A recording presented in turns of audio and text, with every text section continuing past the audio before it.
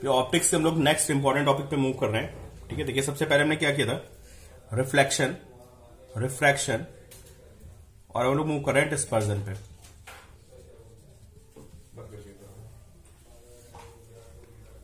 तो रिफ्लेक्शन में आपको पता है I is to R refraction में बेसिकली स्नेल्स लॉ होता है। तो डिस्पर्जन भी रिफ्रैक्शन का एक स्पेशल केस है, ठीक है? सी कोई मीडियम है। और ये कोई वेव ट्रेवल कर रही है। तो रिफ्रैक्टिव इंडेक्स होता है जो मीडियम का, है ना? वो क्या होता है? वो वेवलेंथ पे डिपेंड करता है। इस रिलेशन के according mu is equal to A plus B by lambda square lambda जितना कम होगा म्यू की वैल्यू उतनी ही ज़्यादा होगी। मतलब विपग्योर होता है। तो विपग्योर में क्या होता है? Lambda V is less than lambda R violet की वेवलेंथ सबसे कम होती है और रेड की सबसे ज़्यादा होती है। इसको कॉचीज इक्वेशन बोलते हैं। अब आप देखिए यहाँ पर। लैमडा भी सबसे कम होगा। तो inversely proportional to lambda square आ रहा है मतलब इनवर्सली तो नहीं आ रहा है A plus B by lambda square आ रहा है। लैमडा की वैल्यू जितनी कम होगी रिफ्लेक्टिव इंडेक्स उतना ही ज़्यादा होगा। तो mu B is less than mu R अगर मैं इसको रिफ्लेक्टिव इंडेक्स के ऑर्डर में लिखूं तो म्यू वी का सबसे ज़्यादा होगा और म्यू आर का सबसे कम होगा। ठीक है?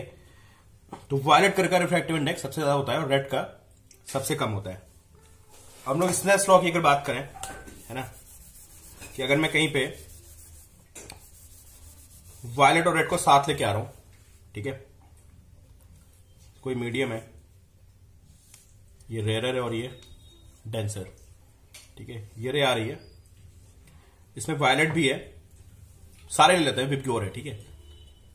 साइड लाइट आ रही है इसमें व्हाइट लाइट विपग्योर तो यहाँ पे आने के बाद क्या होगा? रिफ्रैक्शन होगा। ये टुवर्ड्स नॉर्मल बेंड करेगी। और यहाँ पे जो सबसे ज़्यादा बेंडिंग होगी, वो किसके लिए होगी? वो होगी वायलेट के लिए। क्योंकि वायलेट का रिफ्रैक्टिव इंडेक्स क्या सबसे? ज़्यादा है। और रेड का रिफ्रैक्टिव इंडेक्स क्या सबसे? कम है। तो ये कम बेंड करेगी टुवर्ड्स नॉर्मल या आप इसको उससे भी कर सकते हो स्नेस लॉ से भी देख सकते हो। Mu one sine I's mu two sine R ठीक है? तो सारे कलर्स के लिए मीडियम का रिफ्लेक्टिव इंडेक्स अलग अलग होने से सारे कलर्स आपके अलग अलग हुए, इसको डिस्पर्सन बोलते हैं।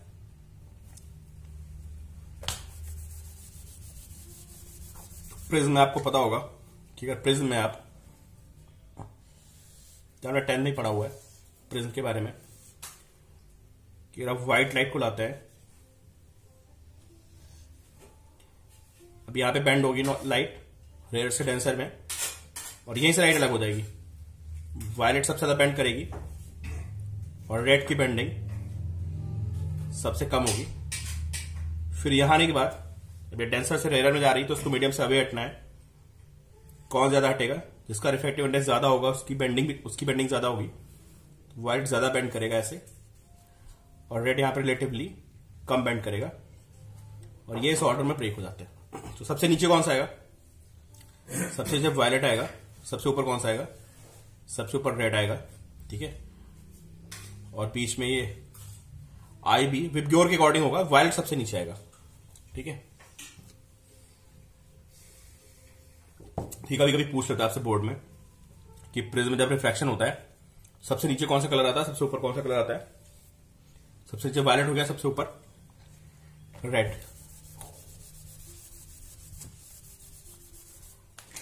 अब प्रिज्म में जो सारी बातें होती है ना, वो होती है एंगल ऑफ़ डेविएशन के टर्म में। सबसे पहले हमें समझना पड़ेगा एंगल ऑफ़ डेविएशन क्या होता है।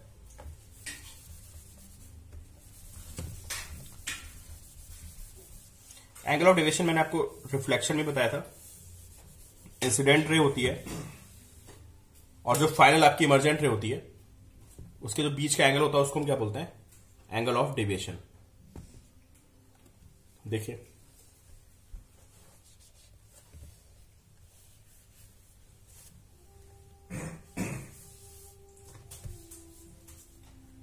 डेविएशन एंगल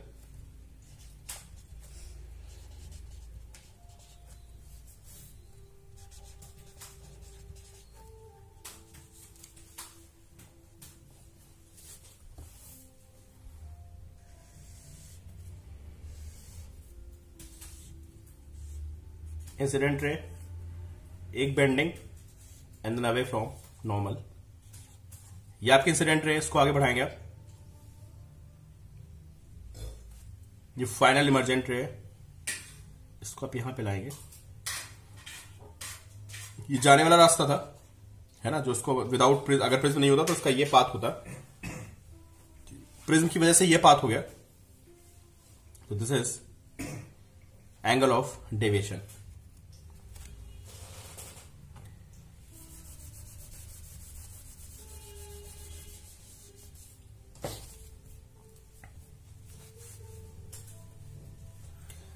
अच्छा डिस्पर्जन लेंस में भी होता है है ना? अगर कॉन्वेक्स लेंस की बात करें तो मैं आपको बता चुका हूँ पहले भी। लेंस मेकर्स फॉर्मूला में, है ना?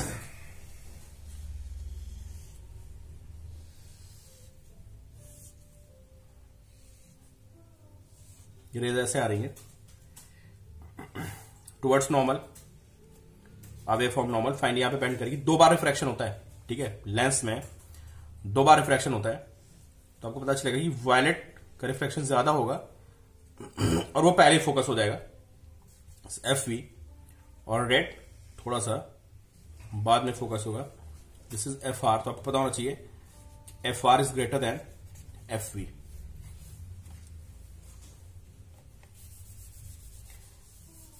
concave में भी होगा। अरे कॉन्केव लेंस है आपका। पैरल रे आ रही है। कौन ज़्यादा बेंड करेगा टुवर्ड्स नॉर्मल वायलेट अभी हटेगा कौन? वायलेट का ज़्यादा होगा।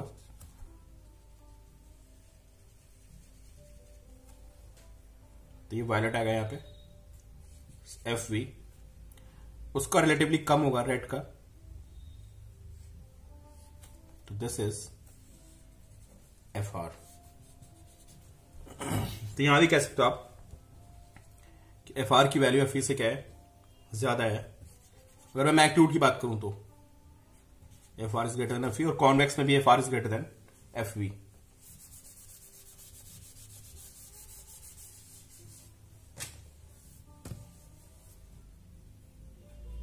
इसको हम लेस मेकर्स फॉर्मुला प्रूव कर सकते हैं ना। One by F S N minus one and one by R one minus one by R two N सबसे ज़्यादा किसका होता है?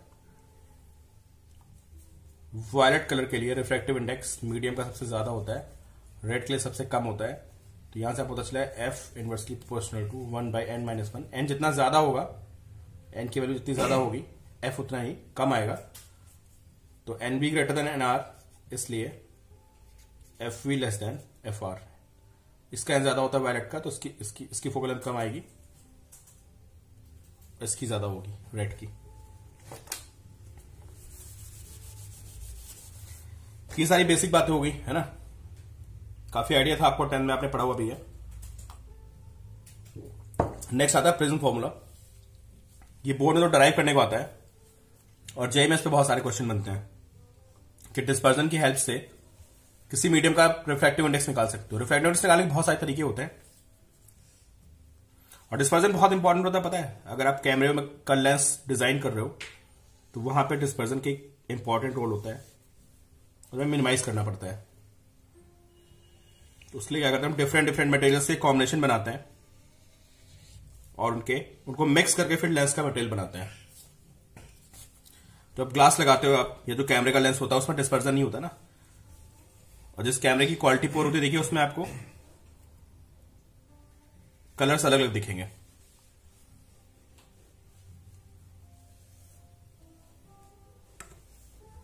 अब ये टॉपिक जेई के लिए भी इंपॉर्टेंट है और बोर्ड के लिए बहुत इंपॉर्टेंट है।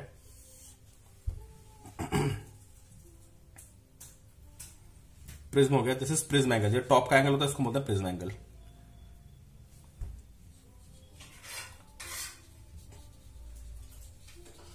prism formula prism formula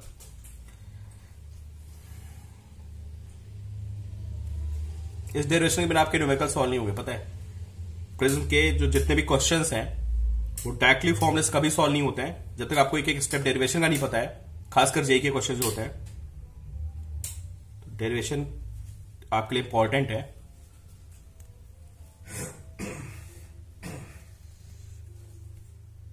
incident ray और ये क्या हो ये नॉर्मल हो गया। आई इंसिडेंट एंगल निकले मैं यहाँ लिख नहीं रहा हूँ, आप लिखते रहना कॉपी में ठीक है? I is incident angle R is refracted angle फिर यहाँ पे पहुँचने के बाद, ये बाहर निकलेगी, इस एंगल को ई e लिखते हैं इमरजेंट एंगल ठीक है? And this is R dash तो ये सरफेस का इंसिडेंट एंगल हो गया R dash and what is E is emergent angle सारे सिंपल नोट कर लिया incident angle refraction angle at first surface ये सेकंड सरफेस का इंसिडेंट एंगल होगा ई e, इसको ई e से डिनोट करते हैं. This is emergent angle final ठीक है? तो सबसे पहले हमें सारे एंगल्स में रिलेशन देखनी है. इसको पीछे लाते हैं. इसको पीछे ले जाते हैं. दिस इज़ डेल्टा ठीक है? अब इनमें रिलेशन निकालना भी आपको बहुत ढंग से आना चाहिए। जेई के क्वेश्चन सॉल्व नहीं हो गए देखो बोर्ड का क्वेश्चन तो हो जाएगा डायरेक्टली फॉर्मुला बेस्ड लेकिन जेई में जो क्वेश्चन आते हैं, उसके लिए आपको एंगल में रिलेशन निकालना आना चाहिए। देखिए, इसको लिखते हैं। इसको पीछे करते हैं। ये एंगल कितना होगा देखिए ये नॉर्मल है। दिस एंगल इज़ 90 ये एंगल आर है। तो ये एंगल कितना हो जाएगा?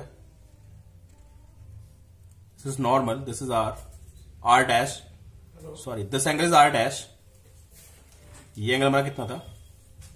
This angle is R dash तो ये कितना आएगा? This is 90 minus R dash ठीक है? ये पूरा angle this is 90 minus R dash ये नॉर्मल है, ये एंगल 90 होगा, आपका ये आर होगा तो ये कितना होगा?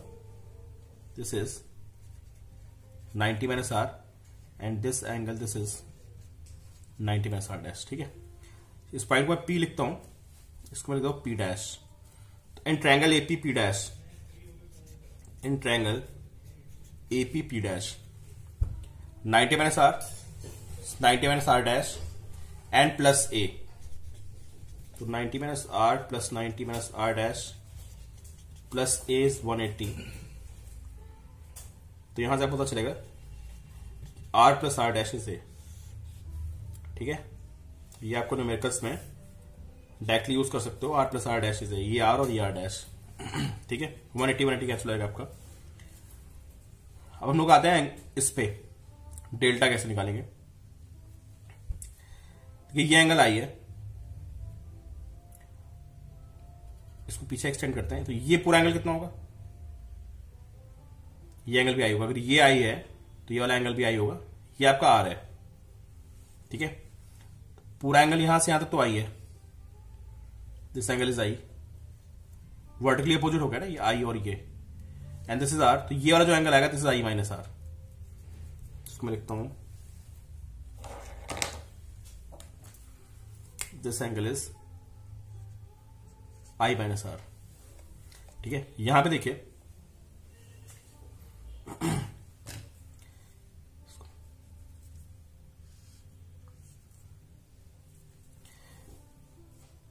ये एंगल कितना आपका दिस आर डैश ठीक है?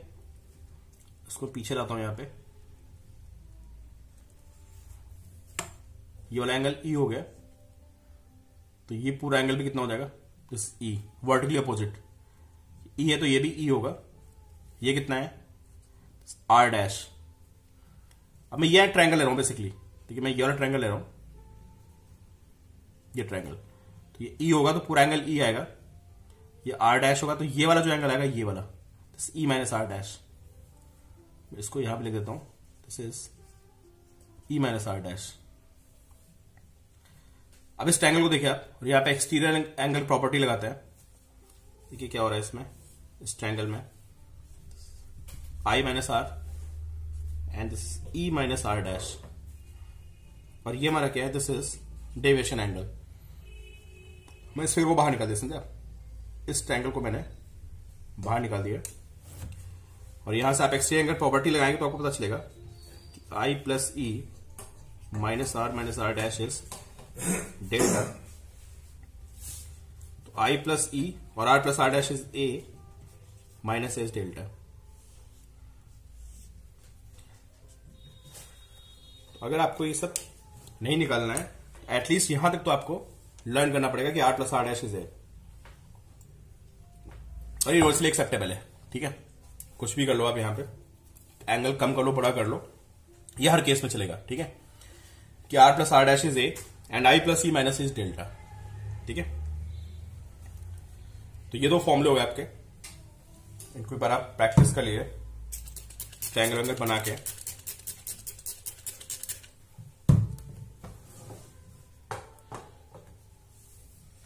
अब नेक्स्ट होता है इसमें मिनिमम डेविएशन ठीक है?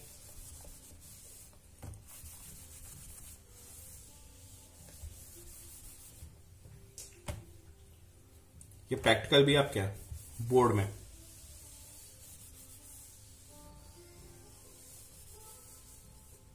इसको एक्चुअली यूज़ करते हैं ना?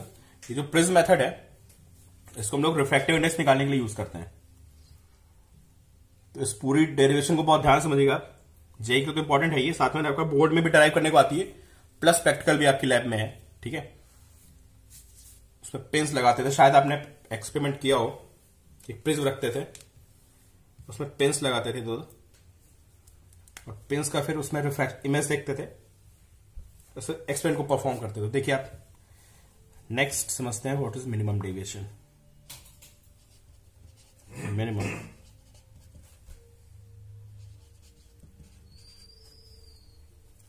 क्या देवेंद्र मुझे देना यार, वो टिश्यू पेपर है कोई? कम हो नहीं रहा कपड़े से। Minimum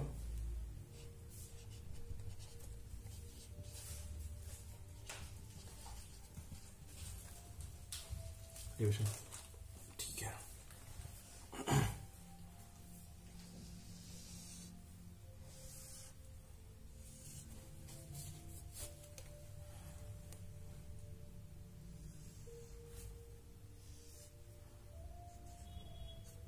I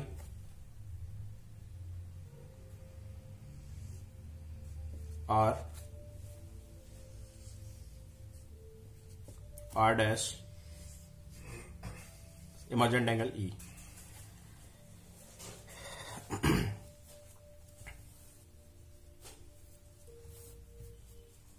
and this is angle of deviation. क्या क्या प्रॉपर्टीज़ आई हमारी? R plus R dash is A and I plus E minus A is delta तो होता है क्या अगर आप आई को इंक्रीज करेंगे ना आई को आप ज़ीरो से इंक्रीज करिए। आई की मैक्सिमम वैल्यू कहाँ तक जा सकती है? फ्रॉम ज़ीरो टू नाइन्टी ठीक है? तो अगर आप इसको डेल्टा को एंगल ऑफ़ डेविएशन को प्लॉट करते हैं विद आई तो ऐसे होता है। इसका ग्राफ ऐसे बनता है। ठीक है? अभी पता चल जाएगा ग्राफ क्यों आ रहा है ऐसे। ठीक है? ये मैं भी आपको आगे बताऊँगा बट मैंने इसको यहाँ पे यूज़ कर लिया है। ठीक है? तो डेविएशन क्या होता है? आप आई को बढ़ाते हो ना? देखिए डेविएशन पहले क्या हो रहा है? डिक्रीज हो रहा है डेविएशन और उसके बाद ये इंक्रीज होना शुरू होता है। ये ऐसा ग्राफ बनता है डेविएशन वर्सेज आई का। और एक पर्टिकुलर एंगल पे दिस डेविएशन इज़ मिनिमम ठीक? जब डेविएशन मिनिमम होता है तो आपको पता चलता है कि मिनिमम डेविएशन के केस में, अभी क्वेश्चन बन गया आपका इंपॉर्टेंट मिनिमम डेविएशन की कंडीशंस बताइए। ठीक है? जे मैन्युमेकल्स में यूज़ होगा बोर्ड्स में लिखने को आ जाती है। मिनिमम डेविएशन होता है तो पहली कंडीशन है angle R is R dash first condition and second and most important ray inside prism this ray this ray is parallel to base तो सेकेंड कंडीशन है ray inside prism is parallel to base ठीक है, जब भी minimum deviation होगा, इस रे को पैरेलल होगा और फिगर बिल्कुल सिमेट्रिकल बनेगी, ठीक है? एंड फिगर इज़ सिमेट्रिकल मतलब ray symmetrical symmetrical about what symmetrical about vertical line है ना? मतलब इधर का डायग्राम ये सारे एंगल्स और सारे एंगल्स क्या होंगे? सेम आएँगे। तो R is R dash and ray side prism is parallel to base ये इसके पैरेलल होगी। और I is equal to E ठीक है? रे सिमेट्रिकल मतलब ray diagram is symmetrical and I is equal to E incident angle और emergent angle दोनों आपके क्या होंगे? सेम होंगे। ठीक है? ये कंडीशन होती हमारी मिनिमम डेविएशन के टाइम पे। अब देखिए भाई। आर प्लस आर डैश की वैल्यू ए थी। तो यहाँ से two R is equal to A आएगा and R is A by two ठीक है? I plus E minus A is delta I is equal to E तो two I minus A is delta इसको delta M लिखेंगे minimum deviation तो यहाँ से आई आएगा A plus delta M by two ठीक है? तो वही डेविएशन चल रही है अभी प्रिज्म फॉर्मूले तक हम पहुँचे नहीं है। एसेंस को अप्लाई करते हैं, कहीं भी अप्लाई कर लो, यहाँ या यहाँ। यहाँ अप्लाई करते हैं। तो one into sine I is this is N into sine R तो यहाँ से एन कितना आएगा? Sine I by sine R ठीक है? आई और आर की वैल्यूज़ पुट करते हैं। जब आई और आर की वैल्यूज़ पुट करोगे तो आपको पता चलेगा जो एन की वैल्यू आएगी N is equal to sine A plus delta M by two upon sine by two ठीक है? दिस इज़ प्रिज्म फॉर्मूला है ना? हम क्या फाइंड कर सकते हैं यहाँ से? अगर प्रिज्म एंगल पता हो मिनिमम डेविएशन पता हो आपको तो आप एन की वैल्यू निकाल सकते हो। रिफ्रैक्टिव इंडेक्स ऑफ़ प्रिज्म ये आ जाएगा, ठीक है? अगर प्रिज्म थिन हो जाए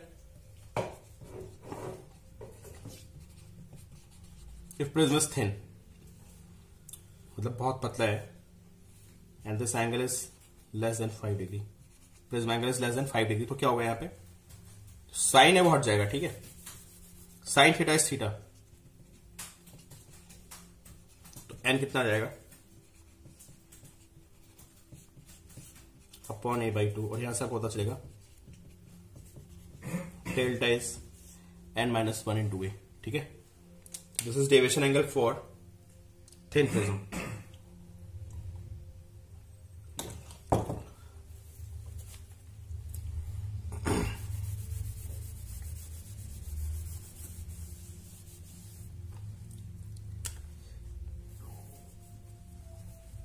अब देखिए कुछ और इंपॉर्टेंट बातें हैं। सबसे पहला होता है grazing incidence grazing means when rays parallel to surface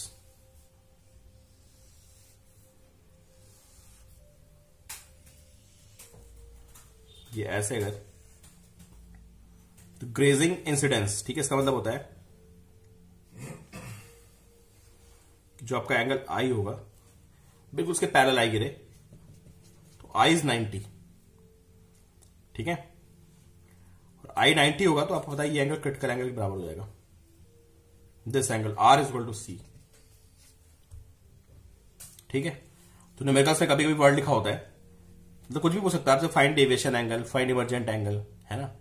for grazing incidence तो grazing incidence means angle of incidence is 90 and ray is parallel to the surface ठीक है? देन एक पॉइंट लिखा होता है कभी कभी कुछ समझ में आएगा ग्रेजिंग इमरजेंस तो what is grazing emergence emergent ray ये जो रे निकल रही है this ray is parallel to surface is ninety ठीक है? और ई नाइनटी कब होगा? When R dash is equal to C अगर ये एंगल आपका सी के बराबर हो गया दिस एंगल तो R dash is C then is ninety ठीक है? अगर मैं आपसे इमरजेंस एंगल पूछूँ फाइन इमरजेंस एंगल है ना? फाइंड इमरजेंस एंगल या find minimum deviation find find deviation. ठीक है? I is given I is given हमें डेविएशन फाइंड करना है। तो दिस इज़ आई ठीक है? And this angle this angle is r. ठीक है? यहाँ पे एस को अप्लाई करते हैं। तो one into sine I is sine R और यहाँ से पता चलेगा sine sorry N into sine R N into sine R sine R की वैल्यू कितनी आएगी? This is sine I by N ठीक है? R plus R dash this is R dash ठीक है? आर प्लस आर डैश की value कितनी थी? R plus R dash is A है ना? तो what is R dash R dash is R minus A sorry A minus R R dash is A minus R मतलब are dash की value हो गई A minus sine inverse sine I by N देखिए मैंने यहाँ से are की value put कर दी। R is sine inverse, sine I by N. तो दिस इज़ आर डैश ठीक है? फिर यहाँ पे इसमें अप्लाई करते हैं। एट दिस सरफेस तो N into sine R dash is equal to this angle angle of emergence one into sine E at this rays in air ठीक है? तो what is sine E sine E is N into sine R dash and this is sine A minus sine inverse sine I by N ठीक है? यहाँ से ई e कितना आ जाएगा?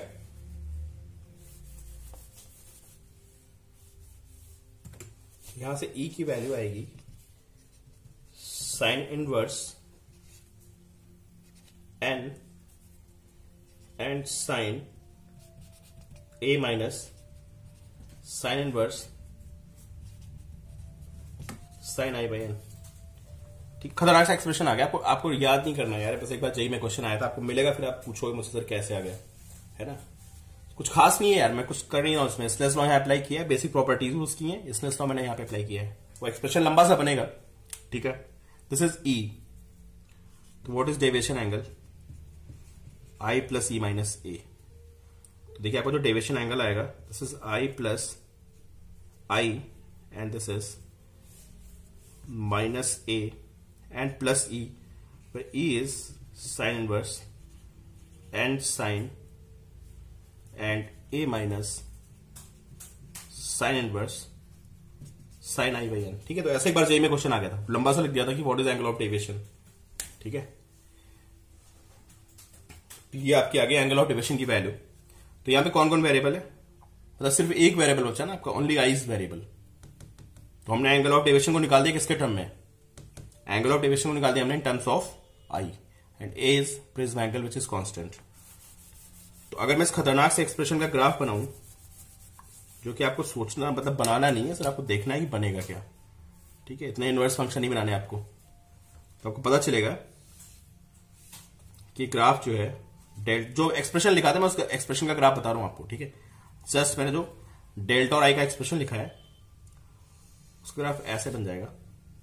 उस एक्सप्रेशन का ये ग्राफ बनेगा जो आपने लिखा था, ठीक है? एंड यहाँ पे ये मिनिमम होगा। ठीक है? अब देखिए, दो एंगल ऑफ़ इंसिडेंस के लिए मतलब डेविएशन एंगल इज़ सेम अगर ये हमारा डेविएशन एंगल है is same for two angles ये आई वन ले लेते हैं। और ये ये हम लोग आई टू लेते हैं। I one and I two और बेसिकली होगा क्या पता है?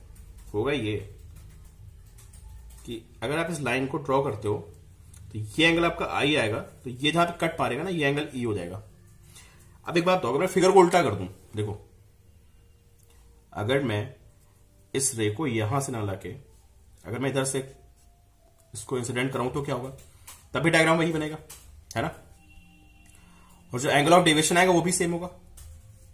मेरा कहने का मतलब है कि अगर आप this is I incidence angle and this is emergence angle if you change I and E मतलब मैं रे को उधर से इंसिडेंट करा दूँ, तब भी क्या होगा? Angle of deviation will be same ठीक है? और मैं ग्राफ में दिख रहा है कि दो एंगल्स के लिए angle of deviation is same तो अगर आप एक लाइन को ड्रॉ करेंगे पैरल तो जहाँ पे कट करेगी, वो क्या बताएगी पता है? This is angle of incidence I और ये जहाँ दूसरे पे कट करेगी this is angle of emergence E इसमें आपको क्वेश्चन मिलेंगे कि आपको ग्राफ बना होगा, एक पैरल लाइन बनी होगी। तो अब समझ जाना है this is I and this is E और यहाँ पे आपका ये मिनिमम आएगा डेविएशन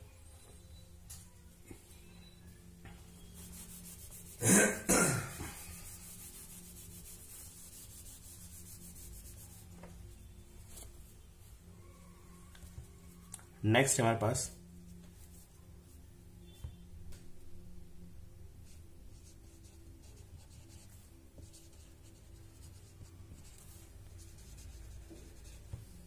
प्रिज्म कॉम्बिनेशन, ठीक है? अब प्रिज्म कॉम्बिनेशन जब भी बात होगी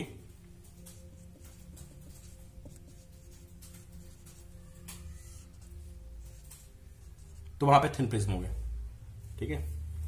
अब इससे पहले आपको और समझनी पड़ेगी। प्रिज्म कॉम्बिनेशन से पहले, डेविएशन तो हमने देख लिया N minus one into A next है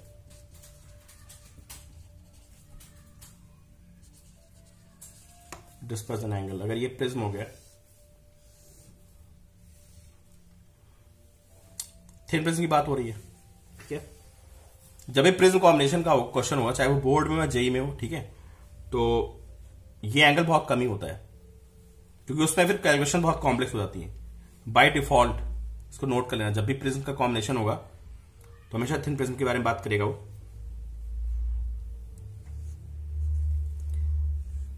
ये रे ऐसे आएगी। ऐसे निकल जाएगी। दिस इज़ वायलेट ठीक है? और ये इसका क्या आएगा?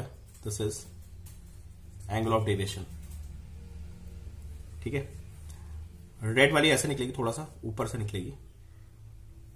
और ये क्या होगा आपका? ये आपका होगा delta R this is angle of deviation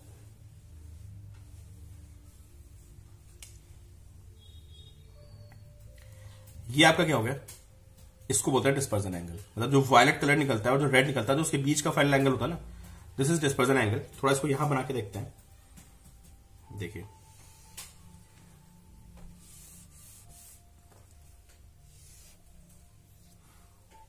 ये आपकी ऐसी डेंसिटी आ रही थी? ठीक है?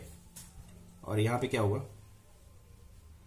ये कौन सी निकल गई आपकी? दिस इज़ रेड ठीक है? ऐसे and this is delta R ठीक है? ये कौन सी रे निकल गई हमारी? This is violet and this angle is delta V ठीक है? This angle is delta V this is delta R ठीक है? This angle is theta this is dispersion angle तो अगर ये थीटा होगा तो ये भी कितना होगा? ये थीटा वर्टिकली अपोजिट होगा ना? थीटा तो ये भी थीटा हो गया। अब आप यहाँ देखिए, आपको पता चलेगा एक्सटीरियर एंगल प्रॉपर्टी लगा देते हैं। ये डेल्टा आर होगा डेल्टा वी थीटा तो delta R plus theta is delta V और यहाँ से थीटा की वैल्यू कितनी आएगी? Delta V minus delta R ठीक है? ये कितना है हमारा? N V minus one into A ये थिन प्रिज्म का फॉर्मुला भी हमने अप्लाई किया था ना।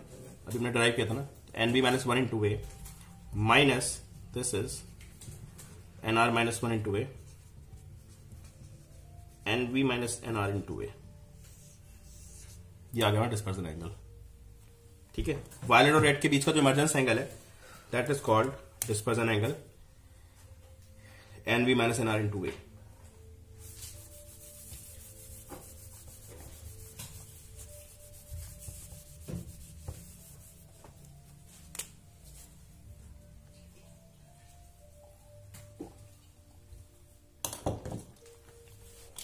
dispersion angle तो होता ना यार। एंड मतलब dispersion angle can be different मतलब फॉर टू डिफरेंट प्रिज्म अगर हमारे पास दो डिफरेंट प्रिज्म है, ठीक है? तो उनके लिए डिस्पर्जन एंगल सेम हो सकता है मतलब। मतलब एक किसी प्रिज्म के लिए N V minus N R into A और दूसरे प्रिज्म के लिए N V dash minus N R dash into A ये सेम हो सकते हैं, ठीक है? लेकिन डिस्पर्सन से रिलेटेड एक ऐसी प्रॉपर्टी होती है जो दैट डिपेंड्स ऑन मटेरियल वो मटेरियल प्रॉपर्टी होती है। तो नेक्स्ट आप देखिए, इसको बोलते हैं dispersive power property of material ठीक है? हर मटेरियल अलग अलग होगा। डेविएशन एंगल यार आप क्या कर सकते हो बताओ? N minus one into A होता है, ठीक है? आप एन को चेंज कर दो ए को चेंज कर दो चेंज कर जाएगा। जो डेविएशन एंगल होता है डिस्पर्जन एंगल भी चेंज कर जाएगा, ठीक है? डिस्पर्सिव पावर को कैसे डिफाइन करते हैं? ओमेगा और ये रेशियो होता है किसका? Dispersion angle upon mean deviation ठीक है? What is dispersion angle this is dispersion angle is N B minus N R into A जो हमारा डिस्पर्जन एंगल होगा this is N B minus N R into A या देखो mean deviation थोड़ा पंगा रहता है, ठीक है? ऐसे दो बातें होती हैं। नॉर्मली विपग्योर में, जो हमारा विपग्योर होता है, इसमें जो येलो की वेवलेंथ आती है ना येलो कलर की, ये इसके मिड में होती है। अगर आपको क्वेश्चन में येलो येलो कलर के बारे में दिया हुआ है तो आप क्या करेंगे? जो मीन डेविएशन होगा, ठीक है, वो आप येलो कलर का ले लेंगे N Y minus one into के कभी कभी क्वेश्चन में क्या होगा ना, आपको वायलेट एंड रेड दिया होगा। तो अगर आपको वायलेट का रिफ्लेक्टिव इंडेक्स दिया हुआ और रेड का दिया हुआ है, ठीक है एक केस तो ये हो सकता है। ठीक है, कि मीन डेविएशन में किसके लिए लेना है? मीन डेविएशन में लेना है किसके लिए? येलो कलर के लिए, ठीक है? और वरना दूसरा क्या होता है? कि हम मीन डेविएशन को N M minus one to A भी लिख सकते हैं। यहाँ पे जो एन एम की वैल्यू होगी this is N V plus N R by two violet और रेड का मीन निकाल दो, उसको हम क्या लिखेंगे? एन एम और इसको यूज़ कर लेंगे, ठीक है? ये बेसिक कहानी है। जो हमें प्रिज्म की प्रॉब्लम्स को सॉल्व करने में हेल्प करेगी, ठीक है? अब नेक्स्ट लेक्चर में हम लोग देखेंगे कि प्रिज्म में किस किस तरह की डिफरेंट डिफरेंट प्रॉब्लम्स बनती हैं और कॉम्बिनेशन बचा हुआ हमारा, ठीक है?